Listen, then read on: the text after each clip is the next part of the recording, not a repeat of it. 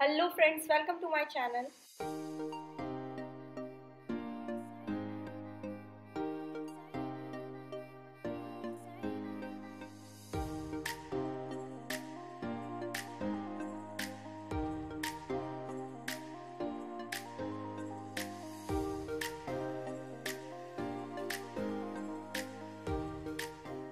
आज हम चलने वाले हैं डुमस बीच पर। ये जो क्लिप्स हैं, ये मेरे पास फेब्रुवरी 2021 की है, पर मुझे ऐसा लगा कि मुझे ये वीडियो आप लोगों से शेयर करना चाहिए, इसीलिए ये वीडियो आप लोगों के लिए। जो डूमस बीच है, वो सूरत सिटी से 2021 किलोमीटर की डिस्टेंस पर है। ये है सूरत एयरपोर्ट और आप देख पा रहे हैं कि सिटी कितनी क्लीन है। सूरत सिटी ऐसे भी इंडियाज़ की क्लीन सिटीज़ में से एक है। और आप रियली जब भी यहाँ आएँगे तो आप फील करेंगे कि यहाँ के जो रोड हैं, यहाँ की जो क्लीनिनेस है वो काफ़ी अच्छी है। आप देख पा रहे हैं जिस रूट पर हम हैं, वो साइकिलिंग रूट के लिए भी बहुत ज़्यादा फ़ेमस है। ये most beautiful road biking route है और आपने अभी देखा ही नज़ारा कि कितने सारे साइकिलिस्ट एक साथ इसी तरह से यहाँ पर ग्रुप में लोग साइकिलिंग करना प्रेफर करते हैं। जैसे कि आज सैटरडे है तो वीकेंड पे लोग प्रेफर करते हैं ये सब करना। See the beauty of the tree. कितना सुंदर पेड़ है ये। और, ये जो रूट है, काफ़ी अच्छा बनाया हुआ है। बहुत सुंदर लगता है इस पर जाते वक्त।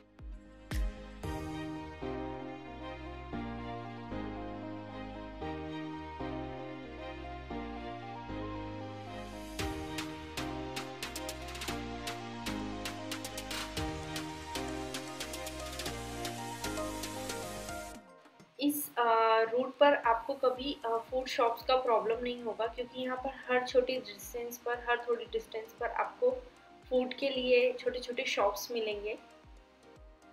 इस रूट पर काफ़ी सारी भजिया की शॉप्स हैं, लेकिन आप यहाँ पर लश्करी भजिया सेंटर करके एक शॉप है, उसके भजिए ज़रूर खाइएगा। बहुत यमी होते हैं, काफ़ी अच्छे और थोड़े डिफरेंट आपको खाने को मिलेंगे, टोमेटो के भजिए एंड और काफ़ी टाइप की डिफरेंट डिफरेंट वेराइटीज़ हैं उन लोगों के पास तो काफ़ी मज़ा आएगा, आप लोगों को एक बार ज़रूर ट्राई कीजिएगा।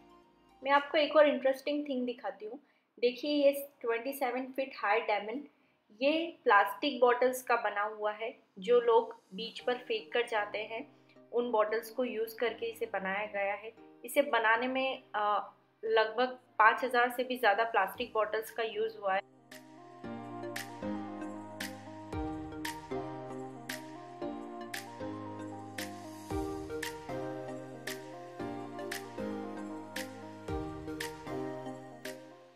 लीजिए आ गए हम डुमस बीच पर और यहाँ पर भी फ़ूड की शॉप्स आप देखेंगे।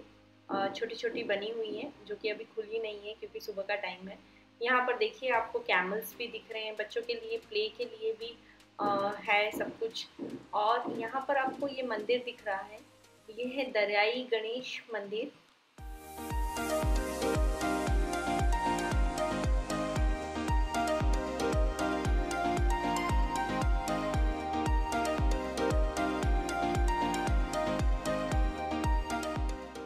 ये है नज़ारा डुमस बीच का।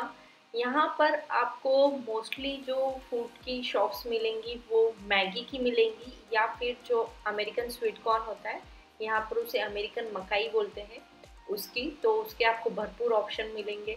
चाय कॉफ़ी और वाटर बॉटल्स इन सब में कोई प्रॉब्लम नहीं होगा, कोई कमी नहीं होगी। इसके अलावा आपको यहाँ पर कुछ और वैरायटी नहीं मिलेगी फ़ूड में. मोर थिंग यहाँ पर ये जो बीच है आप ये एक्सपेक्टेशन के साथ नहीं आए कि ये गोवा के बीच जैसा होगा. नो नॉट एट ऑल यहाँ पर जो इसका सैंड है वो ब्लैक है पहली चीज़.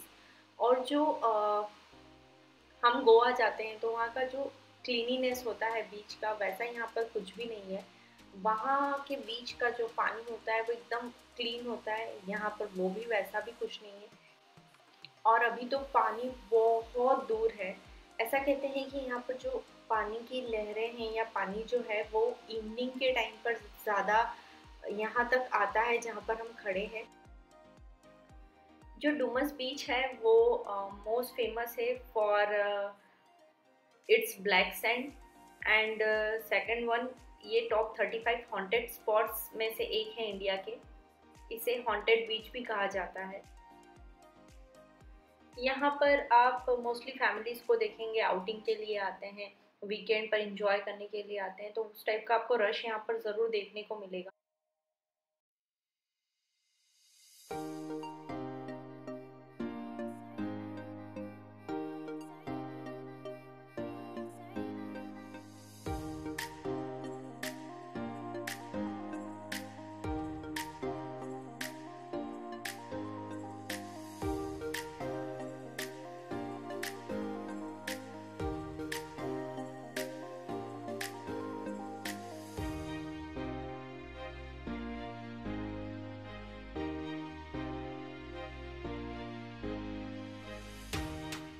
So friends we are back to home आपको ये वीडियो कैसा लगा मुझे कमेंट सेक्शन में ज़रूर बताइएगा।